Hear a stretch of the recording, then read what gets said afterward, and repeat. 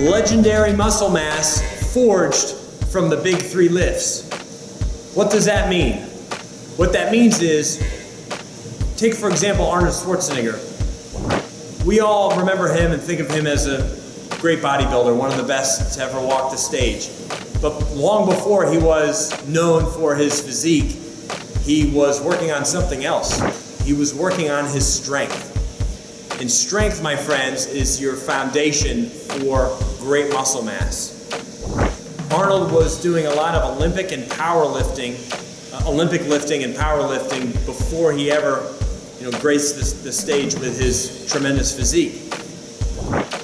The key to unleashing anabolic hormones like testosterone, growth hormone, IGF-1, insulin growth like uh, insulin-like growth factor one, is to do the, the big lifts, the compound lifts, with a certain amount of intensity, and then the body just responds. It's just reacting to what you're giving it.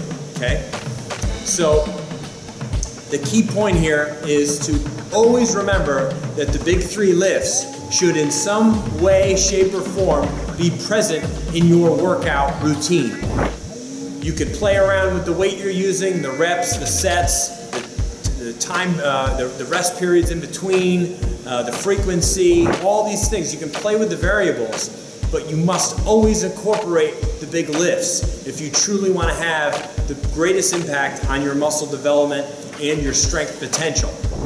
Coach Chris Team Critical Bench, let me know what you think. Leave some comments below.